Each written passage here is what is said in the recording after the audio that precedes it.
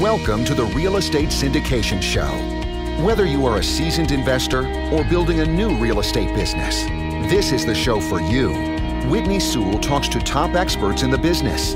Our goal is to help you master real estate syndication. And now, your host, Whitney Sewell. This is your daily real estate syndication show. I'm your host, Whitney Sewell. Today, our guest is Bo Goebel. Thanks for being on the show, Bo. Whitney, it's my pleasure, and I truly appreciate the opportunity to share my thoughts on your platform. I'd love to provide any value I can to you and your listeners. So, thank you. Awesome. Well, uh, Bo is an active duty Ranger qualified infantry officer and values based real estate investor. He started investing in real estate in 2015 and became passionate about investing alongside his family and friends. He is a long term buy and hold investor that has focused purchasing and operating commercial multifamily uh, since 2018. Uh, Bo, uh, it's incredible to have him on the show, and uh, it's an incredible story how uh, I've known Bo for a few years now. But Bo, uh, thank you so much for being on the show. It's been incredible to see your journey and where you know where you're at now. I want to thank you also just for your service. I, I love just having men and women on that that have served our country, and and just personally want to say thank you. I know the listeners uh, are saying thank you as well as they're listening. But uh, tell us a little more about you and and uh, uh and and get us started just in your syndication journey. Yeah, Whitney, I really appreciate that, and that uh, you know it means a lot from somebody that also shared some time over in the sandbox as well. So. Um, I appreciate you and everything you've done too. So before we get started, Whitney, I do think it's a very unique situation that we have because um, it wasn't three years ago that we met at a, you know, at a REIA right outside of DC, and you were traveling for work, and I attended that one regularly. But, um, you know, at the time that we met, we were both aspiring commercial multifamily investors with no investments yet under our belt, and we had immediate chemistry um, and developed a relationship immediately. But, you know, whenever you left, the last thing you said, I was I was just confused and thrown off by because you said you know, I'm not really interested in any markets right now. I'm not looking at any markets because I'm uh, going to get this podcast started. I'm going to start building a podcast. And I was like, that is such a unique way of going about it. You know, it, it was mind blowing to me. Um, and man, I am so impressed with where you've come to and all the success you've had. And it's obviously, you know, uh, attributed to your, to your dedication and your skills um, and just who you are as an individual. And there's nobody that deserves success more than you. And so, you know, I feel obligated as one of the few people that knew you really was during the transition point, um, whenever you're about to start, you know, to celebrate you and your mission and what you've achieved so far. So, wow. very much appreciate the relationship, Whitney. Yeah, you as well, and grateful for that, Bo. And uh, I, I don't, I don't feel like I deserve it, but it, it's definitely not been easy to get here. And uh, but it's been great to see your success as well. And and it, I, I, remember that night I was, I was traveling for work. I was in DC, and I thought, and, and you, the listener, I just want you to think about this. Uh, you know, as I used to travel for the day job, when I'm in another city, I would always look up well, what meetups are around here. What's happening yep. tonight as far as real estate meetups, and that's that's where Bo and I met. Uh, you know, at a at a local meetup, uh, real estate meetup. And so, uh, again, thanks again for that, Bo. Well, get us started on your journey. Let's talk about you. Yeah. So a little bit about me. So. Uh, as you guys know, my name is Bo Goebel, and I'm the luckiest guy that's ever that you've ever met or not met yet. Um, I was born and raised in Southern Indiana, and I'm very fond of my people back home and uh, very proud Hoosier. Um, I've got the biggest extended family that, of anyone that I've ever met. Um, and I'm very proud to be a part of that family, very grateful for them. So after high school, I graduated um, and played football in college at Georgetown College and then joined the military. And Whitney, you may appreciate this because I uh, really wanted to be a Marine, but I didn't like the taste of crowns. So I decided to join the Army. Um, and I've had a blast. I'm going to get some hate for that one. I've had a blast for the past eight years, you know, as an infantry officer. And along that path, I'm very grateful because I found uh, my next true passion, which is real estate in 2015. Um, kind of stumbled my way in with a lack of guidance and uh, very little knowledge, but, you know, just completely obsessed with how to make this, you know, I just, I thought of it very small compared to what I think of it now, but um, very obsessed with what that the power of it and um, had that aha moment um, you know, whenever I transitioned my first primary home into my first investment property or our first investment property. Um, and we started small and took baby steps from there. Um, you know, acquired a duplex and a couple other short-term rentals. That's what we focused on early on. And then 2018, uh, we've been solely focused on commercial multifamily.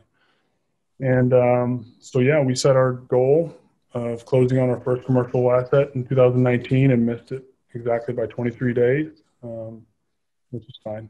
But January 2020, we closed on a 68 unit apartment complex, and that coupled with our uh, other smaller personal portfolios um, is about $3.4 million of assets under management. And I'm happy to talk, you know, through the whole gamut of any concepts that you think is going to be provide some value. Yeah. So why syndication, Bo? Why why choose to go commercial uh, real estate and, and choose to syndicate? Yeah. So for me, Whitney, I think it you have to look at the asset class right first. So commercial multifamily, I think, is for so many tangible reasons, is the most powerful wealth building vehicle out there. Um, you know, it's scalable, dispersion of risk. You know, partnering with just really high level performers, and you know, you couple high, the highest risk adjusted return with um, with you know extreme tax incentives or tax uh, you know tax benefits, you know, and all of that combined, and then you have this social impact of providing homes to people and memories of people, and that that's very it's aligned with my goals and what I want to achieve in life. Uh, it's very fulfilling for me. And syndication, on the other hand, you know, is is coupled with that. So I'm a multifamily syndicator, and syndication's an incredible tool, essentially that you can just it allows an operator like me to partner with people, with individuals to create teams and then leverage each other's expertise or their, um, you know, their resources. Um, and this makes, you know, a powerful way. This makes, you know, syndication a powerful way of just fulfilling each other's goals and establishing, you know, mutually beneficial um, teams. So I seek my personal goal, and this is all about fulfillment, but it's it's this. I seek to to share this opportunity of investing in safe, reliable, incoming producing uh, assets, which is apartment buildings in this case, um, with people that I care about, with my family and friends. And so that's what kind of drew me to syndication.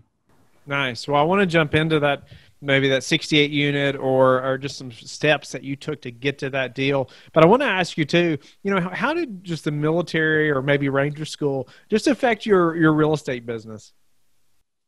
So the military in general um, has been tremendous. Uh, I've been very fortunate to be a part of it. Uh, I tell everyone, you know, I think there's different tiers, and for me, Ranger School was an obsession, and so I, I, I love touching on this, and I, I talk to all of my peers and any of my soldiers that will that care to listen about how important Ranger School was to my personal development. Um, you know, as a leader, as a soldier, you know, as a person in general. Um, and I really wanted to be a ranger for so many reasons, and so many of them were like high level, like idealistic, romantic reasons. Uh, but I, I truly became obsessed, and that's like the only way forward for me. And so that was my priority. So just super focused on that for a long time, and and very grateful for the opportunity. But I think uh, your your listeners could really get some value from some things that that you know in hindsight I can translate into how that's built me as a leader, and and also you know how it translates into real estate. Um, there's three real things that Ranger School did for me as a tactical leader, the military officer, and you know, number one, it made me extremely confident in my small unit tactics.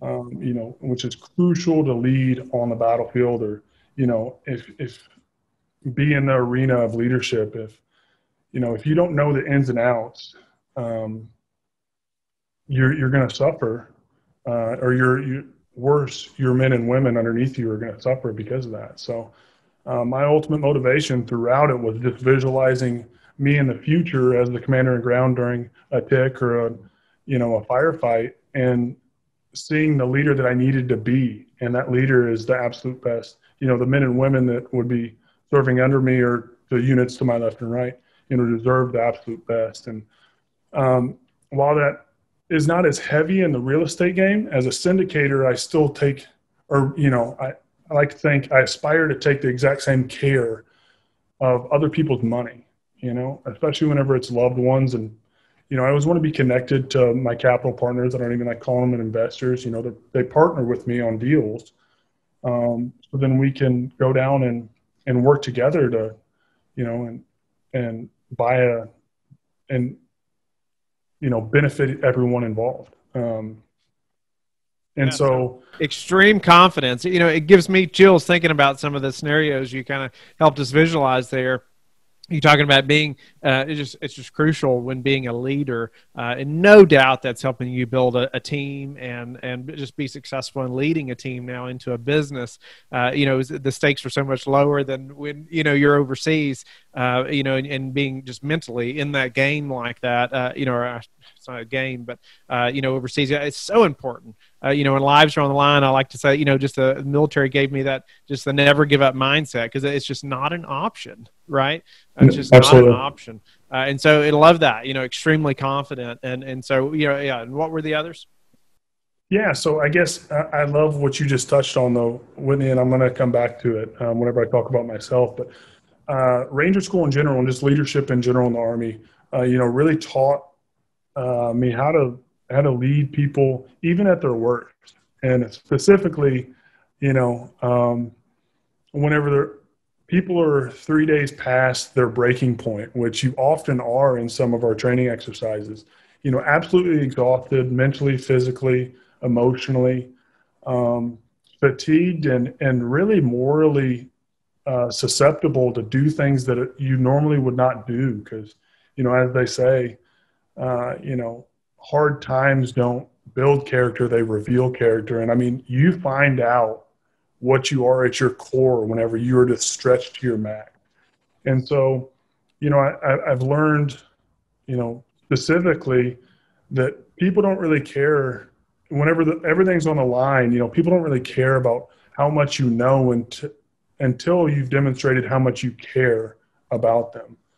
Um, and that's very intrinsic to who I aspire to be like. Uh, so it's it's definitely translated over. It's you know you have to invest the time and be there and and how to be the best. You know in every situation, even whenever it's not necessarily your neck on the line, whenever it's somebody else's, and just um, be a servant leader essentially. No doubt about it. Wow. No, thanks for sharing that. I think even you know the listener that hasn't been in the military, it's just great to hear those things, you know, and to think through that and just the, the level of dedication, you know, that it took in the military, but then how that's translated translated to a successful real estate business as well. Uh, anything else you want to touch on on that before we before we move on? The last thing, last thing, and I promise this is the last thing. It's just so much about mindset. So you learn. It taught me more about myself than anything that I could ever know. So, um, you know, there's a funny thing that can happen to you whenever you you know the power of your mindset and there's funny things that can happen to you whenever you don't stay strong of mind, whenever you're broken down to your absolute limit and your brain, you know, you learn the psychology and, and the fun things about that, but your brain's an incredible tool. And what you focus on and the state that you maintain yourself in absolutely determines your behavior more than you ever, than your conscious thought ever could. Um, and just an example, I mean, there's some mountains that you walk up during some training exercises after like you know you're a few days after you're breaking what you thought was your limit. Um, and no joke you you're walking up these mountains uh, and you look off and the most appealing thing to your brain if you're just focused on your pain and your internal suffering is falling off a 100 foot cliff and hopefully just breaking some bones you know bodily harm to yourself and being able to internalize that and focus on the goal or the mission ahead or the objective or or maybe just for me it's always helpful just to focus on the guy next to me um, or gal next to me. And you know that's been able to persevere. And once you can do that i mean you're you know our true potential isn't even tapped into until we've risen to, to higher levels. So Nice. Wow. No, that's incredible. Uh, our true potential is not tapped into until then. Wow.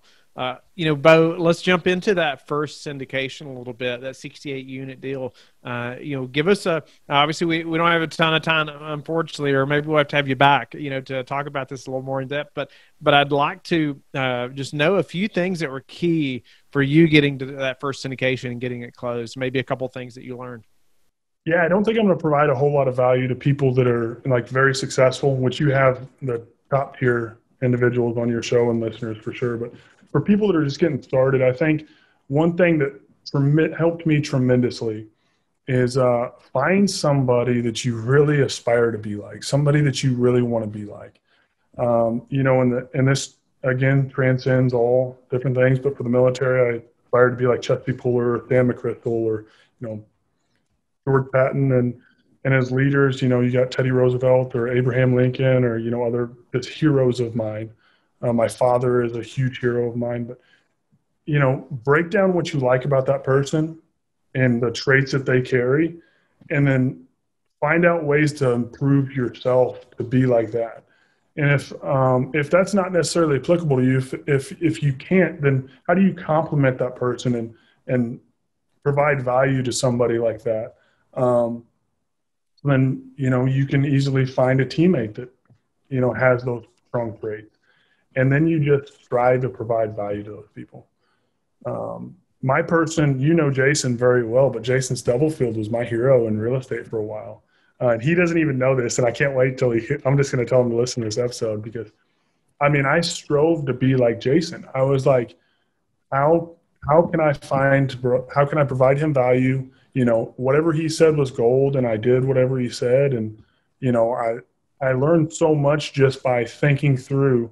Um, even whenever he wasn't around, I just aspired to be like him, um, and we developed a strong relationship. And and to be honest with you, Whitney, what happened was uh, that gave me the confidence. I was like, hey. I know, you know, I had this simple conversation. Hey, Jason, you know, if I find something that's a great deal and it meets, meets all your criteria, what are your criteria? will, can we partner on it? You know, can I just bring you the deal and then and then work through the process and you look over my shoulder and you know I'll do all the work. You just you know whatever I had to do to provide him value, and that gave me the confidence to go after any deal of any size. Um, you know, I failed at I failed at a few syndications, but um, one one that never went to fruition um, was 284 units before I ever had. You know, the biggest thing that I owned was a duplex because I knew that I had team in place and people that could tackle something bigger. So uh, that's definitely that's awesome. I mean, even just right there, you, you had someone that you knew uh, that that was already doing deals, already syndicating deals. Are you know, I know Jason personally, and, and we've been together numerous times, and and uh, great guy. Uh, and, and but you know, just it's great that you knew somebody like that. You had somebody in your corner that you could ask questions to, and like you said, now it just opens up this big door of of opportunities, right? Or that you didn't even see available before. It gives you this, you know, next level of confidence, uh, you know, in the business. Absolutely, yeah, and you know, you attach yourself to whoever that is. If you don't organically find that, like I was fortunate enough to do, um, which if you go out and you if you uh, network enough you're going to find people that you aspire to be like and just try to provide them value. But you can easily find a coach or a mentor through a paid you know that's providing them value by actually giving them money. And they can provide that exact same service probably in a in a more expedited way. Um, but i took the old school long route you know? No doubt about it. Uh, bo bo what's been the hardest part of this syndication journey for you yeah. So um, honestly, Whitney, I think retroactively looking at what some of my weaknesses are, um, it's been really difficult for me to touch the people that I care about. Uh, I've really wanted to impact people back home, people in my family, and I'm. I think my ego gets in the way a little bit because I'm I'm a little afraid. I've got fear that leads leads me or constricts my ability to talk to them, to raise money from them, to partner with them on this on any future deals because you know it's a pretty um, special relationship between whenever you're taking some someone else's money. And I although they're the people that I strive to be like uh, or aspire to serve um, you know at this point getting my name out and really advocating what I'm doing in real estate uh, has been a uh, a difficult a difficult thing for me to do. So, Bo, I believe anyone that's successful in, in almost any business, especially this one, has a high level of self discipline. Uh, and, and, maybe we've already talked about this, but I, I want to ask anyway: How did you gain such a high level of self discipline? Oh, Whitney, I, I appreciate that. Um, I I struggle with discipline, self discipline quite a bit. I would say that when I don't struggle with discipline is whenever I focus on the uh, people that I'm serving. Whenever I focus on either you know whether or not for real estate, if that's my if that's my capital partners, if that's my residents, if that's my family. Whenever I focus, like the only reason why I graduated from Ranger School is because I thought about my soldiers in the future. It was not because I was I will never have the six pack abs because I don't care to have six pack abs. I care to be functionally fit to serve other people. You know, whenever I think about myself, and I, I can be a very lazy individual and very uh, so self-discipline is something um, that doesn't come naturally to me but discipline absolutely is a key to my success and it's just w- what i'm focused on so i have to take intentional uh, steps to focus on what gets me going my why essentially my purpose are there a couple like daily habits that you're disciplined about that, that have helped you achieve success so it's very small. There's very small things. Waking up and chugging a couple glasses of water and taking a cold shower. Uh, you know, we work out. I think physical fitness is um, absolute paramount. Um, but even that, you know, I because of a demanding schedule, I kind of cut out from time to time. Recently, uh, just taking, you know, your your your miracle morning mindset or what I truly I love Tony Robbins or his message, um, and just taking the time to prime in the morning and be filled with gratitude and be able to serve people around you, and uh, has definitely helped, uh, and in ways that I can't. What's it? You know. Please go ahead. Yeah. Uh, uh, what's a way that you've recently improved your business, Bo, that we could apply to ours? Yeah. So for a tactical one, Whitney. Um, so we've got a commercial asset, you know, an apartment complex that we've uh, incorporated some of our short-term rental properties into. Um, so it's about being creative with finding ways to provide value and seek demand. If demand's there, provide that value, and and then you know obviously increase your bottom line, um, which is beneficial for everybody. So, what's your best source for meeting new investors right now? organic for sure. Um, I'm not putting myself out there. However, LinkedIn is something that uh, I have started posting on, um, and I really enjoy the engagement and have definitely discussed uh, some things. However, I mean, at this time, I've got um, through organic sources, you know, just people that have invested with me, you know, word of mouth and whatnot. Um, I'm very confident that we'll be able to take down our next deal whenever it comes about. So. What's the number one thing that's contributed to your success? Um, without a doubt, a positive mental attitude. Hmm. you know, I've been very fortunate that that was kind of innate in me, and then developing that further, uh, that controls your state, which controls your decisions. Positive mental attitude uh, makes you a person people want to be around, and that is that is what you should always strive for. And how do you like to give back? I love this question, Whitney. I really do, and I appreciate it. Um, so, as I'm going through and determining kind of my negative triggers, you know, as I'm, I was on, I'm on a journey to become a more virtuous person. And what I've done very recently is started seeking out these triggers that uh, of negative thought and behavior. And I noticed that I had a lot of negative experiences whenever I saw homeless people um, or people begging for money. And I and I don't mean it. I hated that. You know, it, it made me feel very bad.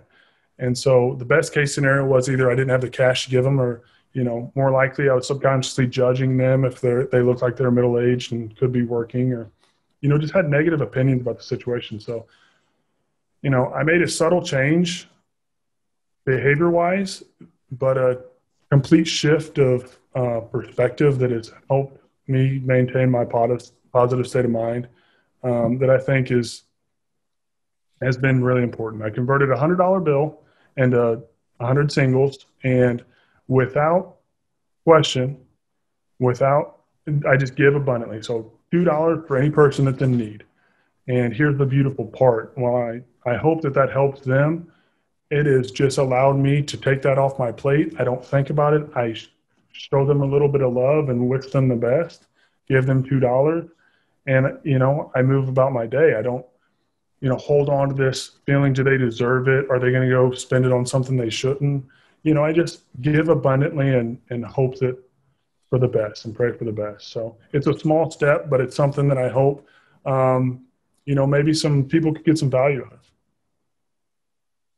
Wow, Bo. Well, thank you for sharing that. And I'm grateful for how you just shared with us today and, and just your journey and getting to that first syndication and just how the military really affected you in a big way, obviously, and, and have helped you, you know, go from from ranger or infantry officer to successful real estate investor. It's been incredible to like like I said to see that journey uh, and what you're doing now, uh, you know, and just uh, doing larger large deals. So, congratulations on getting the 68 unit closed. Um, and, and it's just been great. I'm grateful for the friendship and and that we are both here today uh, to talk about uh, what we've done. So, Bo, tell the listeners though, how they can get in touch with you and learn more about you.